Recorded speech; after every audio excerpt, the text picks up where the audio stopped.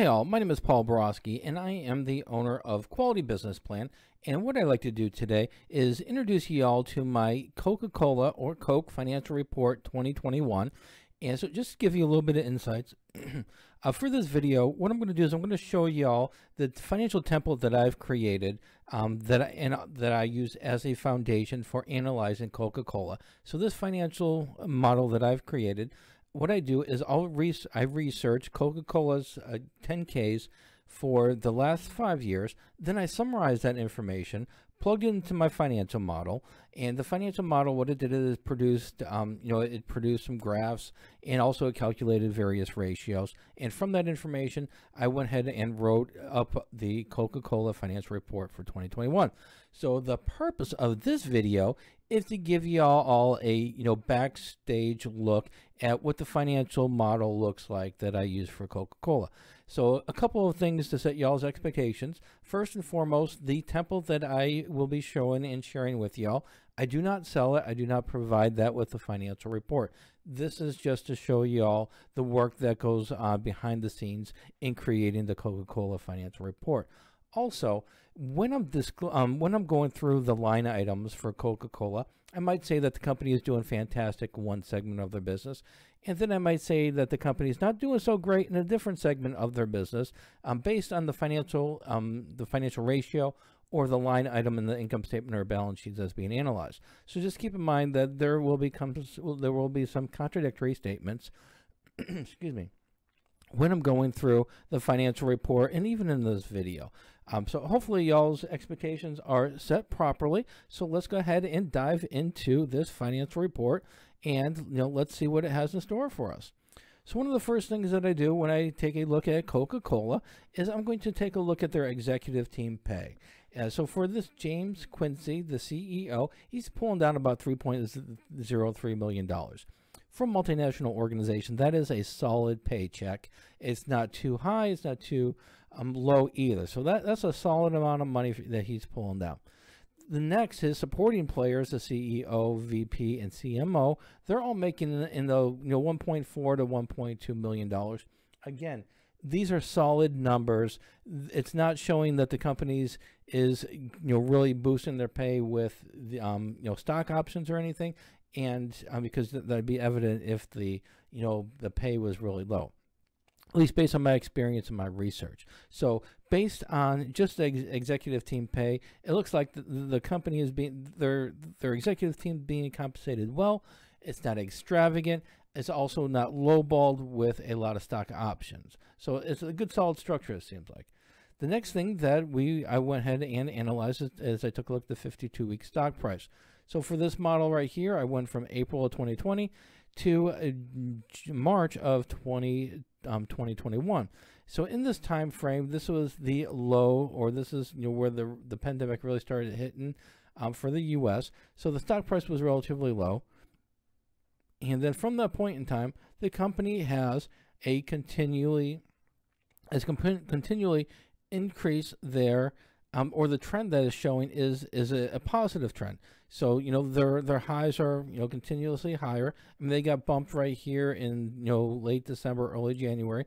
But again, after this bump in whatever caused this bump in the stock price, excuse me, the company has still rebounded and they are continually trending higher. So I like the trend for the stock prices. You know, it you know it's it's still up and down. We've got some fluctuation. We got some room to play the numbers if that's what your stock strategy is. Um, but it's a continuous trend higher, which it is a good trend for the investors. Next thing that I take a look at is going to be the dividend payout policy. 2016 dividend payout $1.40 went to $1.48, $1.56 in 2018, $1.16 in 19 and then $1.64 in 20. So the organization is again growing their dividends dollar wise consistently higher, which is good for um, for dividend investors. What I don't like about this though is that their growth rate is continually lower. The growth rate in 17 is 5.7, 18 5.4%, 19 2.5%, and then 2.56 and then 22.50%. So yes, the dividends are growing dollar wise. It's not growing percentage wise, though, and as an investor, you're going to be a little bit concerned with that because you know dividends are important part of the investment and your that aspect or that the component of your investment uh, vehicle is is actually not growing as fast as is some other multinational organizations out there. So that's a little bit of a concern um, for investors, in my most humble of opinions. All right, next is going to be the income statement. So in my financial report for Coca-Cola, I do take a look at five or six different line items for the income statement. For example, for 2016, Coca-Cola had revenues of $41.8 billion. In 2017, it went down to $36.2 billion. 18 34 billion We got a little bit of a bump in 19 to 37 billion, and but their decline made up for it in 2020 to 33 billion dollars.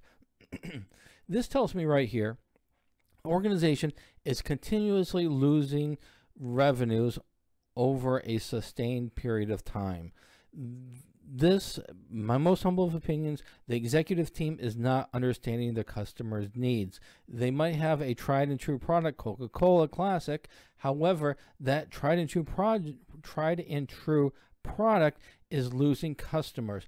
They're not in, they, they need to spend more money in research and development, or they need to spend some more money in market research to find out what the consumer trend is going towards, what it is now, and where is it going in the future, and then come up with some products that are going to better meet the needs of their customers.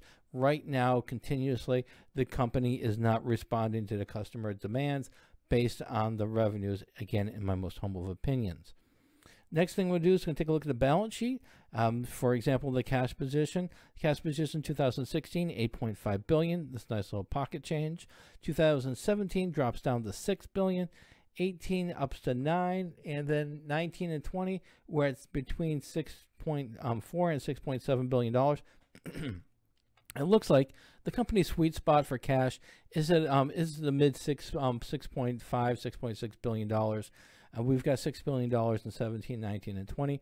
So this kind of tells me that the executive team knows what their cash position needs to be. And, you know, in order to, you know, pay their current asset or to pay their current liabilities and uh, still have enough funds to, to be solvent. So it, the executive team again, in my most humble opinions, they've identified the range that they need to be in, and they're doing a good job keeping it there. They they might go a little bit low with the six billion, a little bit high with the nine, but for the most part, they're they're keeping a nice tight, um, nice tight um, rein on their cash usage. So pretty good job for them. All right, next thing is going to be the current ratios or the ratios for the um, Coke financial report. I do touch on at about probably nine or ten different ratios. I touch on. I take a look at the. I, I take a look at the trends and the analysis for each one. Um, for this example right here, I start. I might go ahead and do a current ratio analysis for 2016. Current ratio is 1.2%. For um, for the most part, the golden rule for the current ratio is anything above 1.0 says um, you know tells us that the company is going to be uh, financially solvent for the next 12 months. And with a 1.2 uh, current ratio, the, the, company is doing pretty good with their current assets as compared to current liabilities. 2017, they're doing a little bit better. They're not getting too close to 2.0, which tells me that the company is mismanaging. They're holding too much cash. So they're still doing pretty good with that position. However, in 2018 and 2019, seems like they're having a little bit of a cash crunch here, dropping down to 0.87 to 0.76. If this trend continued to go lower, it would tell me one or two things. Again, in my most humble of opinions, that a the organization is hemorrhaging cash and, and they're, they're they're having some serious problems with their cash management.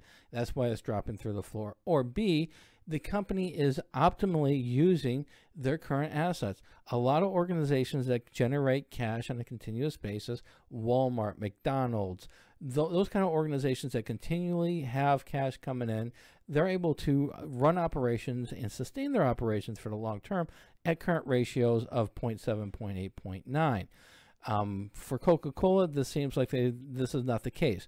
Their sweet spot seems to be between 1.28 1.34 1.32 because that's where they were in 2020 so right here it tells me they have a little bit of a cash issue um, for a couple years but they were able to rebound it whether it's taken um, taken on debt because goodness knows they're definitely not generating it from revenues because the revenues are declining for the last five years.